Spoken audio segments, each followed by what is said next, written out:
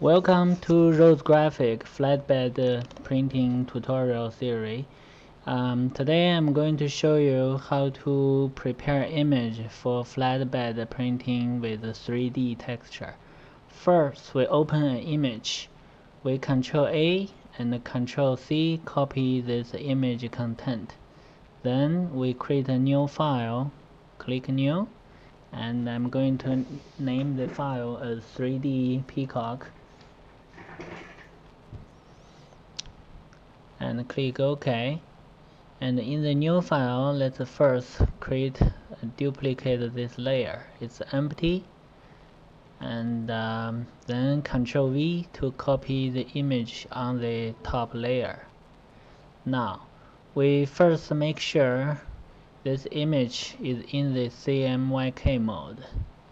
And after confirming we go to channel we pick one channel that we think contain a lot of texture information. We duplicate that channel.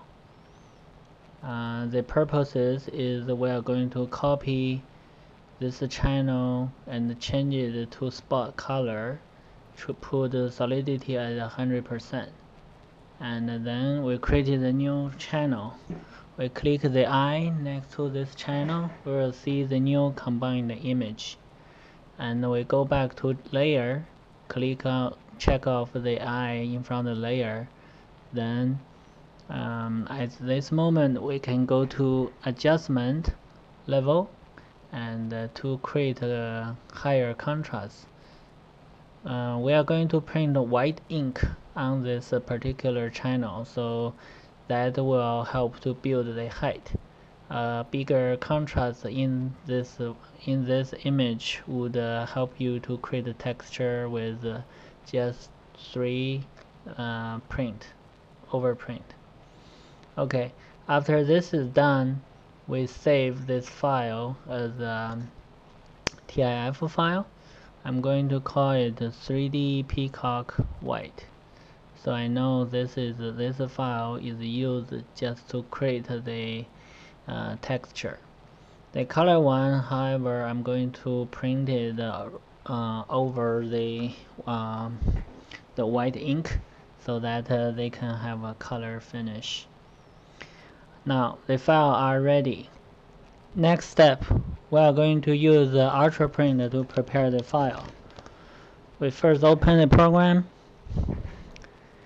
create a new canvas and insert the image. I'm going to work on the white first. Right click to check the size and uh, set up option to make sure the white ink is set as spot color.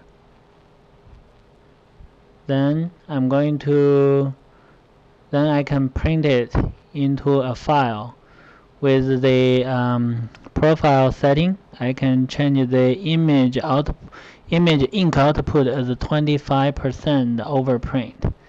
I will save it as a file called 3D Peacock White .prn. With this, uh, after this is done, I'm going to repeat the same procedure with the color file. Uh, the whole with this two file, two PRN file, I can print the white three times or three or more times then print the color file on top to create a 3D color image with 3D relief. That is uh, um, the white ink can build up height because it has very thick uh, solid content and uh, with just a few layer of printing you can create a, texture that you can feel with your hand. So now I'm repeating the same procedure. I double check the size make sure it's the same the same uh, um, dimension. So I'm going to call this a 3D peacock color and uh, saving this file. Now after this file is saved then we are ready to print with uh, our Rose Graphic flatbed UV printers Thank you for watching this video. Um, in our next video we will show you how the print result looks like if you have other questions you can email us at sales at rosegraphics.com or call us at 239 785 8999 thank you